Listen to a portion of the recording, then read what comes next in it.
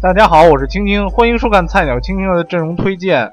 最近很多朋友说现在的游戏环境很差，总是被战力碾压，总是被虐，啊，不花钱根本玩不下去。其实如果想花钱的话，可以买买月卡，其实也无伤大雅。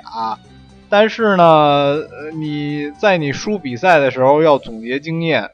就是说，想想自己为什么输，自己还有没有提高的这个空间，要从自己这方面找找问题，然后慢慢提高自己的技艺，这样你玩这个游戏才会体会到真正的乐趣。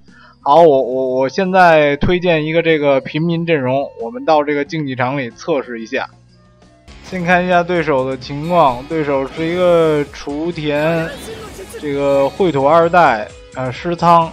雷主的这个组啊，雷主和呃秽土二代是有根性的，但是为什么不把有根性的放一号位啊？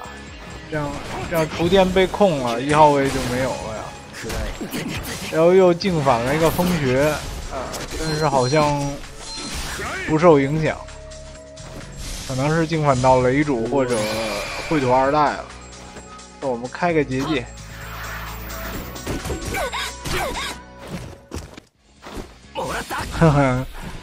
他要风雷斩，被我给打断了。其实给他斩过来也无所谓了，因为这一下我这个火主也是用了奥义了。斩斩鸣人倒是可以，他打向了这个人间道，人间道免疫，然后这个鸣人奥义他的尸汤。其实这个打断的问题就是凭借经验，然后如果你的应激反应很快的话，打断他两次，他自然就知道你厉害，自然就退了。好，对方是个土主，却用了一套火主或者雷主的阵容。如果他这是一个呃雷主的跟进队，我可能就够呛了。哎，他怎么这样卡的？这个通常的话，怕他普攻你顶不住的话，就就一定要定身他的这个安不佑。你不定的话，他这个四次普攻抽过来真的是非常的痛。呃，这下哎，趁机会我们开一下这个结界。我以为卡这么久，估计是他卡，他完全看不到我开奥义的。不然的话，举这么久，他一路卡都那飞镖都没打过来。那就是反应的，就是太慢了。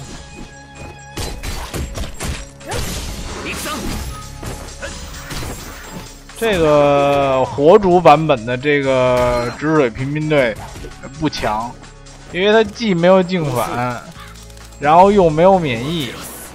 那没有免疫的话，这个确实非常难打呀。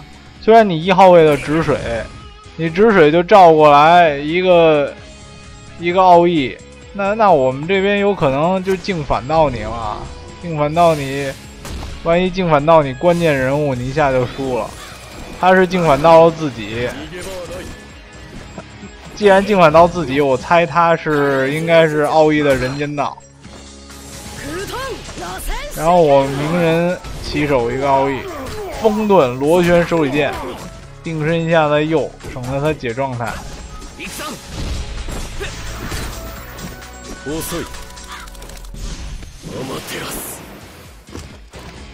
然后后手控下土主，下个回合可以先手控他的右，啊，他的右腰奥义打断他，应该比赛就结束了。我猜他要退了，已经退了。看一下对手的阵容，是个水主，这个是一个水豹队。嗯，他还比较玩的还是。不是很极端，没有带三个奶，带一个鲨鱼应该配双奶呀，只是配了净反。哎，他为什么不不开结界呢？这个让我很是诧异。不开结界的意思是，哎，怎么现在就就用鲨鱼出来了？这个不好吧？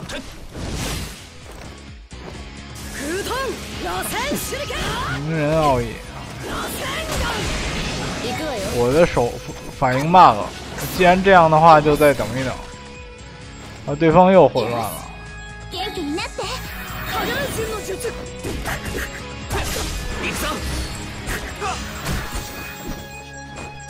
来，鸣人来个奥义，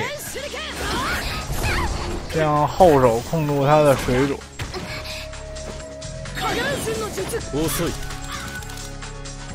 然然后后手控一下他的红。啊，好，对方退了。对手这个队伍应该根茎队，根茎接加人间免疫，是不知道是不是免疫的人间道。如果是免疫的人间道，那那就是这刚才这个水豹队的克星，至少是在在这个竞技场里是。哎，人间道不是没有选择全免疫，而是选择的净反。既然这样的话，如果是如果是有条件的话，根性队三带刀的话，还是还是用全免疫比较好啊，是不是？四个都免疫，那打起来那感觉就非常的舒适啊，是不是？因为我的先攻比较快，所以一号位的奥义我就没有放。这样第二回合一开始就可以打断他了。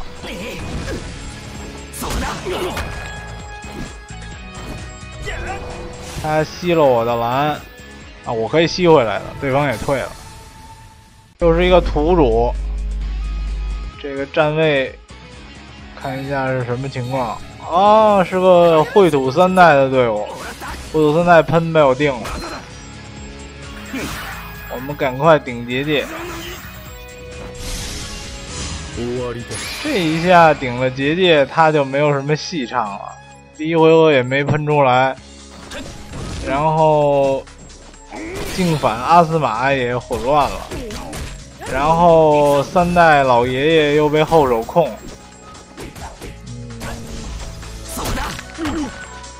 还要打的话，那就 我也不知道为什么还要打。好吧。你要你不退，我是肯定不会退的。我的这个阵容里头一个点卷忍者都没有啊！你有一个点卷忍者，就比我强啊！就是从价值上来是比我强的。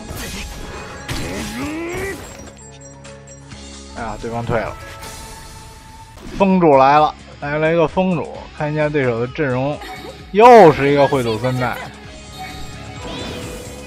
貌似他很悲剧，因为我的先攻比较快，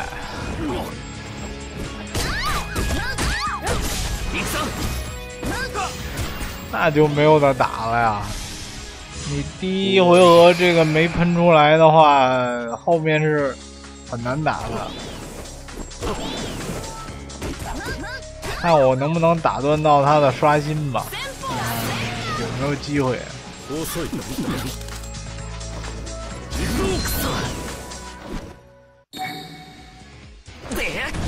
打断不到也，那也没办法。看看，哎，吸了他的蓝了。哎，他可以刷新的呀？为什么不刷新？哦，想到反正也没有蓝，是不是？没有蓝了就不刷新了。可是你可以解那个三代的状态啊，他下个回合一开始就可以就可以喷了呀。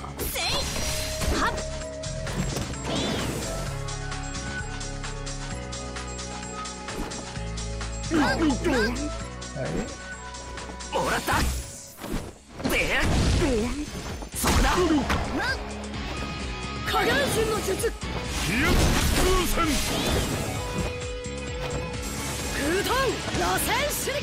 一下，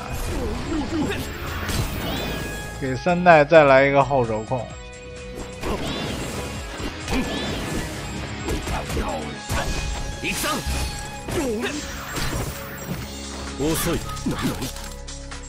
这个先攻快就是欺负人呐，是不是？这回刷新又又刷新不到了，退了。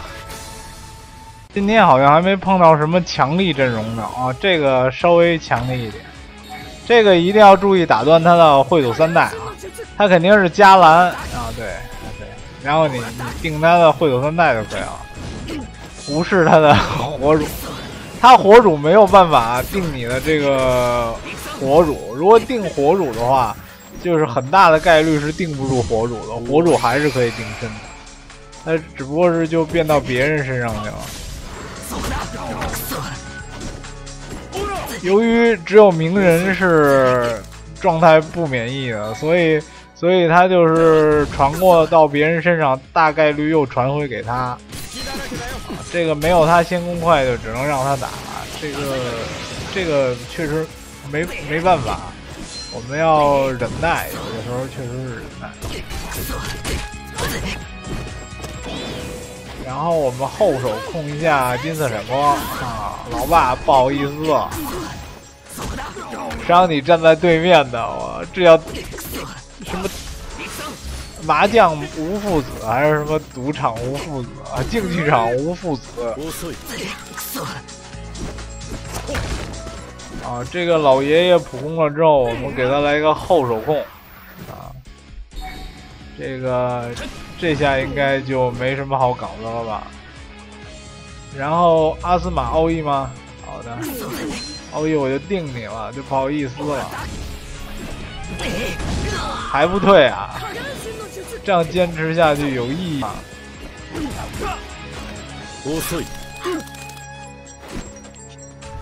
好的，退了。好看一下对方阵容，又是一个火主。哎，好卡呀！什么阵容啊？止水的阵容。哎，开结界，好爽，偷的。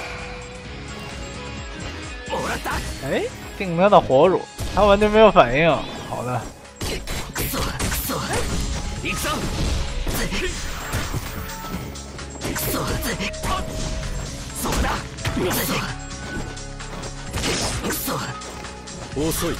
我在猜他的火主是什么奥义啊？止水，哇哇！鸣人的分身还真能挡刀啊，不然被这哥俩打我还真够呛啊！谢谢鸣人啊，分身真多。来吧，不要客气了，奥义吧。哇，这这是骗我奥义呢？好吧，其实我也是骗你。你知道吗？你奥义完了之后净反吗？哎，净反的真的好！我想想什么是什么。来来来，在后手控一下他的这个止水。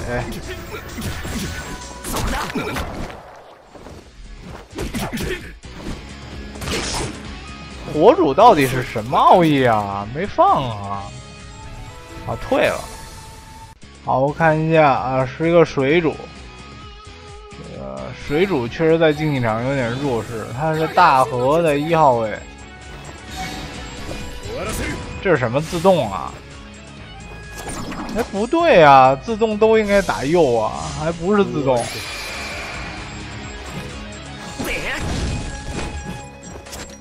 这太不幸了，净反到水主，然后秽土二代。又被后手控，一号位无奥义，三号位无奥义，对方已经不等我打了，都退了。好，对手，啊，对方玩家，啊，是新区的玩家，是鸣人父子加神男雷主的组合，这个组合确实不太，不太好配合，除非你鲜明突破到能解这个金色闪光的状态。所以我我一直就没有定定这个金色闪光，就是怕它有解状态，等鸣人动了之后再再再定的。不是。然后我们这个结界可以开也可以不开的。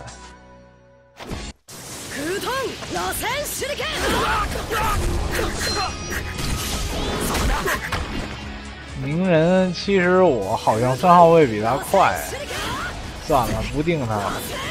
就假假的，我就认为我比他慢吧。开结界没什么意义，开着完了。